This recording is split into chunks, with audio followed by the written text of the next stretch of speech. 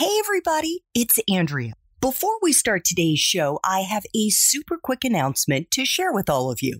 Beginning in April, I'm going to be launching a series of college to career live weekend boot camps to help graduating seniors as well as juniors who are confused about what jobs or careers they might want to pursue when they graduate.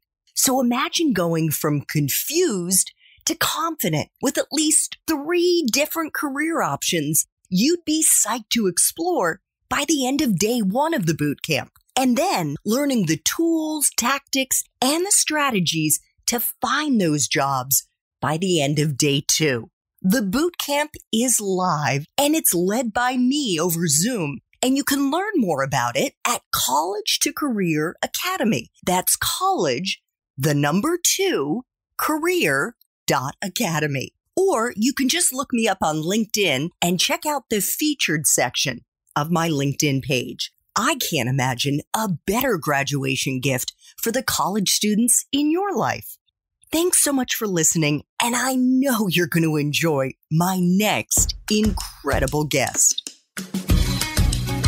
Hi there, I'm Andrea Koppel, and it's time for coffee, the podcast where you get to hear firsthand what the jobs and careers that interest you the most are really like. Hey there, Java Junkies. Welcome to another K Cup mini episode of Time for Coffee. By the way, K cups come in three sizes single, double, and triple shots, or roughly one minute, five minutes, or 10 minutes in length. So if you don't have time to throw back an entire caffeinated career conversation, these K-Cup mini episodes of T4C can give you a quick caffeinated fix, whether you're on the go or you only have a few minutes to binge. So grab your mug and take a chug, cause it's time for a caffeinated career triple shot K-Cup with my guest, Austin Belcak.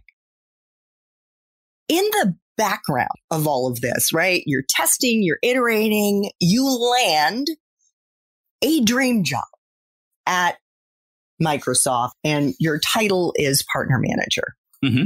When did you start connecting the dots and saying, holy shit, I have actually landed on something here?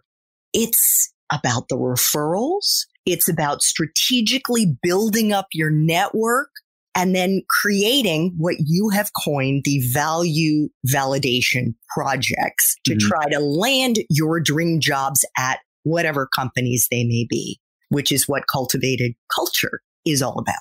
Yeah, no, absolutely. It happened very, very quickly. So I actually started cultivated culture about six months after I landed at Microsoft. And the reason for that is is that so many people came out of the woodwork, especially people from Wake. They found a way to reach me and they were like, Hey, aren't you the guy who had the terrible grades? You know, how are you working at Microsoft? And I just explained to them what I did. I told them that, you know, hey, I started applying online. It didn't work. So I started this new process where I just reached out to these people and I created this body of work and these value validation projects. And everybody had the same response. They all said, I never thought about that, but it makes so much sense. And that's something that I still hear a lot today in, in the feedback from people who are, you know, on our email list or in the community. But when I heard that from the 20th person or whatever it was, I figured we might be onto something here. You know, all these people who went to a good school who are many of them were working good jobs, but they wanted to get out of them. They're really smart people. You know, they have much better grades than I did. And they're telling me, like, this makes a lot of sense, but I'd never thought about it that was sort of a light bulb moment. So I did what I just talked about. I said, let's try to turn this into something. And I wrote a, a, massive blog post on everything that I'd learned. And I'd spent a lot of time reading other people's content. I'd followed a lot of other people who were in this sort of online business and marketing space. I spent a lot of time, I would save articles I liked and I would read through them and I would make notes on what I liked and what I didn't. So I had a pretty good sense of how to write a good blog post just from doing those things. So I wrote this 3,000 to 5,000 word guide called How to Get a Job Anywhere with No Connections. And I put it on this blog. It was the only post on the site. And I ended up doing some promotion. I found all these other people in the career space who actually had an audience. And I emailed it to them and I said, Hey, you know, here's a story about how I ended up at this, this job at Microsoft.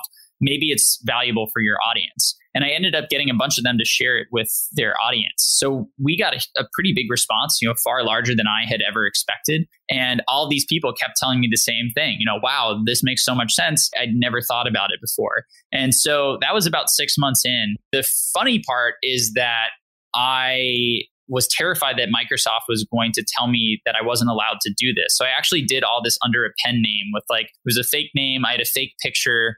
And it actually took me about a year of doing this before I transferred it over to my real name. But yeah, I just started putting it out there and it got this great response. And ever since then, it's been the goal has been to teach people that same system that I learned as I was going through the job search. I'd love your thoughts on this, Austin, because you are so expert in this field. And because one of the many patterns that I've seen after interviewing hundreds of professionals just like you in dozens of different industries over the last several years is that unless you want to be, you really want to be a doctor or a lawyer or an engineer. And even then, I don't think it's fixed in stone. I think it doesn't matter where you start your career. The first one, two, or even three jobs don't really matter. And so the whole idea that college students and their families, their parents are twisting themselves into knots thinking, Oh my God, what am I going to do for my capital C career is wasted energy it is wasted anxiety and mental stress. And instead, they should just take a deep breath and do something that interests them, whatever mm-hmm. it is. Because the open secret, I think, about career progressions is that it is super personal. You can't predict where it's going to lead you. You have to just do it. It's iterative.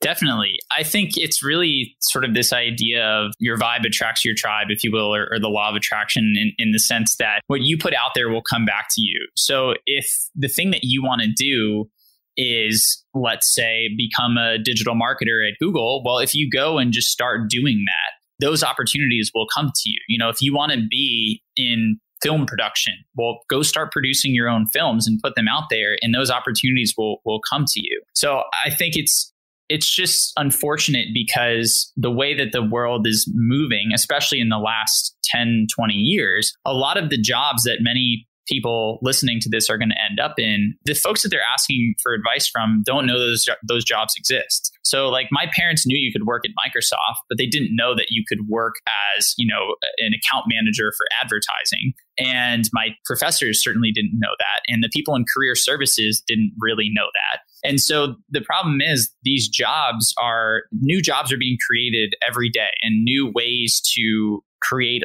income and, and make a living are, are being, you know, created every single day. And so the biggest thing that any of us can do is first explore. Like the biggest issue with passion is that people tend to think it's one something that we're born with it's innate and that's certainly not true i mean you called it out earlier where i, I didn't major in career counseling right I, if you had asked me in college what i wanted to do this would have wouldn't have even been on my radar and now Me it's either, by the way. Yeah, as exactly. a poli sci Asian Studies and Chinese major, right? I love it. I love it. And but why did that happen? Well, it's because we explored and then what tends to happen is that passion stems through action. So first you need to explore, you need to take action on some things. And then what happens is first you start to enjoy the process. So you're reading something, you're finding it interesting, it's motivating you to read more. And then when you start to put something out there, you start to take action, you get positive feedback. So people say to you, Hey, this was really good, or I really like this. And then that motivates you to read more and to get better. And so that's where the cycle of passion comes from. You know, for me, I start, I, I, post this article and then everybody says, this is really great. Tell me more about this other thing. So then I write that next article and then so on and so forth. And then it feels really good that I'm putting something out there and these people are saying, wow, I, I really like this. So what I encourage people to do if, if I work with somebody who's sort of lost or, or not sure where they want to go, what I have them do is these, I call them 30 day mini pilots, where if you're interested in something, I encourage you to set a goal that's realistic, but a bit of a stretch for 30 days. And basically, you dive in and you learn as much as you can. You commit to a daily practice and you try to achieve that goal in 30 days. And then you assess on day 31, you say, did I enjoy this or did I not? And if you didn't, you can give yourself permission to quit and move on to the next thing. But if you did enjoy it, you could spend the next 30 days going a little bit deeper. And so what that does is it allows us to make, there has to be a certain level of investment that we make before we understand whether or not we like something. It allows us to make that investment, but it also gives us permission to drop things that we don't like. Because I think one of the unfortunate parts about our society is that we're taught to like never quit, like winners never quit. And that's not true. Like winners stop doing things all the time. They, they stop doing things that don't work. They stop doing things they don't like. They stop doing things that don't make them happy. And that's why they end up winning. And so we all need to adopt that mentality where just because you start something doesn't mean you, you have to keep it forever. You can stop doing that thing. And so if you're hungry to explore, if you're passionate to explore and you're willing to take action and give yourself permission to stop doing the things you don't like, that's really how you're going to figure out where you want to go. And then once you figure out this thing that you're excited about, if you just start creating, if you start putting things out into the world that are relevant to that discipline, you're going to attract people, you're going to attract opportunities, you're going to attract things that are relevant. And as that area evolves, so will your projects and so will the things that you do. But you don't have to necessarily know, like, this is the job title that I'll be working in in 10 years. You can just know, I really want to be doing this type of thing. And if I put out content, if I put out information, if I put out work that is in that realm, those opportunities will be available to me no matter what they look like.